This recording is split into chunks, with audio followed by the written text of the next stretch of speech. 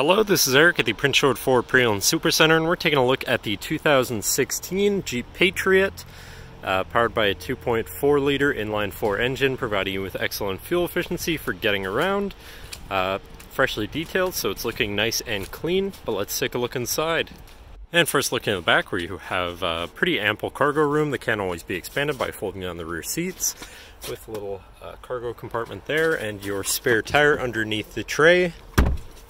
And then looking at the back seat where you have seating for three, so you can bring along your friends and family with two cup holders in the middle and hard uh, hard back seats, so you're not going to feel your back passenger's knees in your back if you're a tall person.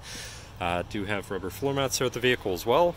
And looking in the front, you have manual locks, manual windows, uh, manual seats. Uh, everything is standard manual in this vehicle, which, I mean, is good. Nothing can break or can't break too badly. Now sitting in the vehicle they're running, you can see it's sitting at uh, 114,442 kilometers. Moving down to the steering wheel, on the right hand side you have your cruise controls, and on the left you have your buttons to cycle through your info here, such as your trip A and B mileage, uh, temperature and odometer again, and then reset like oil warnings and stuff like that, I would assume. Uh, moving on from that, though, to your infotainment center, which is radio CD and auxiliary, so you do have some options there for whatever you want to listen to, however you want to listen to it.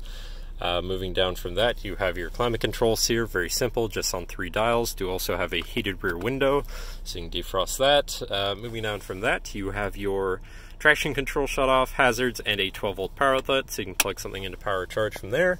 And then you have your shifter, which is the most interesting part since you have a 5 speed manual transmission in this vehicle. So if that's your preferred way of driving or if you're looking for something to learn on, certainly an excellent choice.